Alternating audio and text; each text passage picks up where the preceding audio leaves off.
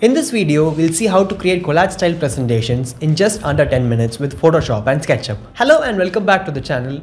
I recently posted a video on 6 different styles of architectural visualization and I received a lot of comments and messages asking for a detailed video on the post-digital collage style. So in this video, I'll walk you through the process. Make sure you watch that video as well, but after watching this one. I'm Salmaan, an architect and illustrator. If you're new to the channel, make sure you're subscribed and hit the bell icon for notification. So let's get started. This example that we're using is called the Rough House by Measured Architects. I have modeled this project on SketchUp to use for this rendering. Let's start by exporting a view from SketchUp and that can be done from File, Export, 2D Graphic. I make sure to check this option and change to the maximum resolution for a better quality. Let's save the image and open it in Photoshop. Step number one is to add colors to the base image. We need to select each individual element in this view, create a new layer out of it and add a separate color to it. So let's begin by choosing the base wooden texture on the facade. Click the base texture and choose the areas where you want to add the wooden texture. I'm using the magic wand tool to select and once you made the selection, just create a new layer for it and add a gray color. There are no set rules to add what kind of color you want so this can just be for our reference. Similarly, I'm choosing the other side of the building, creating a new layer and adding a light grey to it. The window frames are a bit difficult to select with the magic wand, so I'm using the brush tool to simply draw over it with a red color.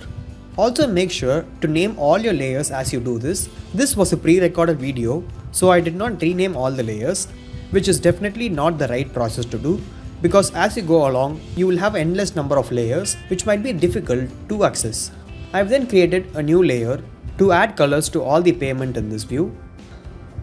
Then comes the glass window, I am just reducing the opacity of this and then the main door of the building. Next is a new layer with green for the vegetation and the sky which is straightforward and also a darker grey for this boundary.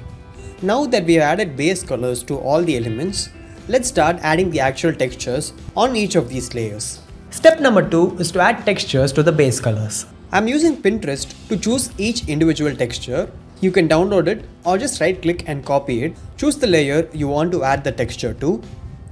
Drag and drop or Ctrl V to add the texture over it. Let's resize the texture so that it has the right scale.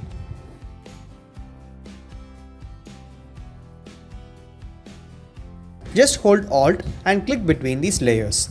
You can notice that the texture that we have added has created a mask over the base texture that we added. We will now be able to adjust the perspective by using the distort or perspective tool to put these textures in the right place. Similarly, let's add another texture to fill up the right face of the building. Let's repeat the same process again. I have a concrete texture that I want to add to this grey area on the facade. I'm choosing the gray area and adding the concrete texture on top of it. Let's hold alt and click between the layers and that has created a mask. Let's adjust the perspective a bit and we will be following the same process for all the texture that we just added. Copy paste the texture on top of the color, hold alt and click between the layers and then adjust the texture to perspective.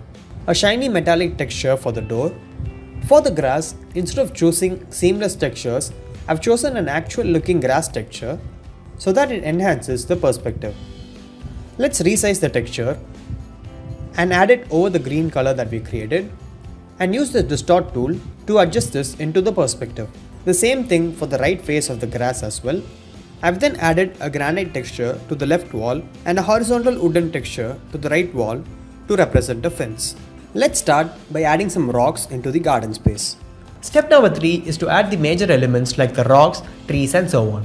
Let's right click to copy it and paste it into our Photoshop canvas. Two or three variations of rocks should be sufficient. And then let's start looking for foreground trees to create a nice framing effect for our collage. Now to simplify this process, you could just search for a PNG cutout without a white background and add it into your canvas. And if you want to use a specific kind of cutout, you can use this process to remove the white background seamlessly. Let's first duplicate the layer and go to image, adjustments and black and white. Once again, let's go to image, adjustments and levels. Play around with the sliders so you have a nice contrasting black and white cutout. We can then go to select, color range and choose the white areas. With the selection made, let's go to the color layer and delete the white areas.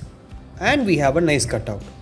I'm kind of repeating the same process for the trees as well because I think the color scheme of these trees will fit in with the overall composition and we don't have to go through the process of adjusting the colors. Let's copy the trees around and also adjust the sizes so that we have a variation of trees. Now I've just imported the shadows from SketchUp and added it into our canvas. We can use these shadows as a select to create our own gradient shadows.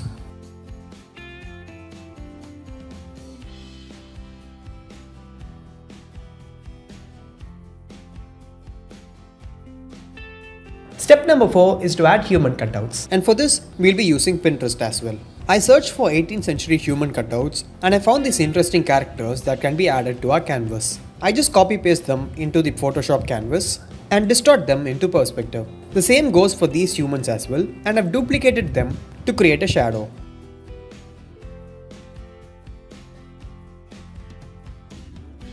Step number 5 is to add smaller vegetation. Next comes the other smaller vegetation in the garden area and for this I've searched them on Google. Let's drop them in place and remove the white backgrounds and keep adjusting and placing them all across the garden area. It might be important to adjust the sizes and direction every once in a while so that we break the monotonous character of the same PNG cutout that we're using.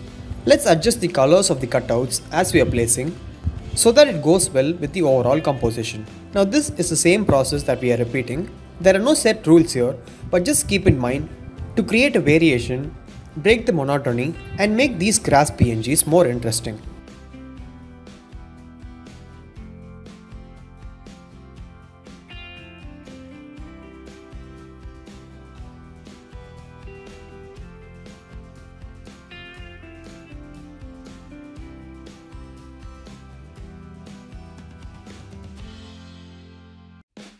For the rest of the areas, I'm using a leaf brush to fill up the spaces. I found this free leaf brush from a fellow YouTuber. I'm creating these in various colors and sizes and filling up the empty areas in the garden.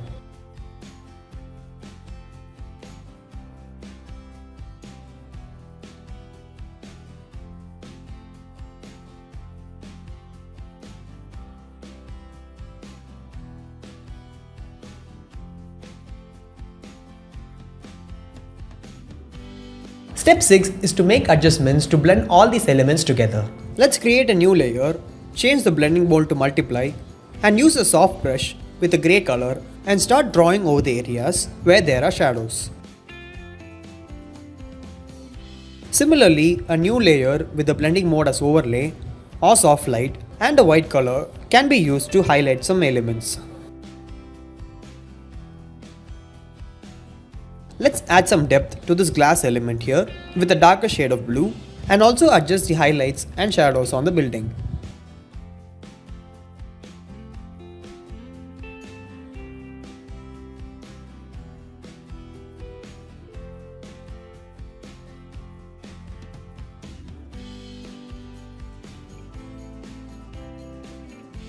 The last part would be to add sky and for this, I'm reducing the size of the sky to make it as a smaller rectangle.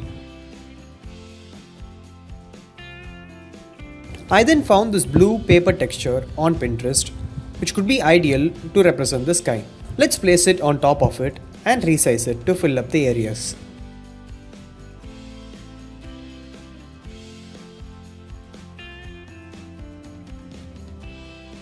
And with that, we are almost done. You can now adjust the highlights and shadows as per your liking to get the final image. So that was the process of creating a post-digital collage in just under 10 minutes. I hope you liked this video and you found it to be helpful. And if you did, please hit that like button and share this with your friends. Comment down below if you have any questions of this process and I'll be happy to answer them. You can follow me on Instagram and the handle is right here. I'll see you on the next one.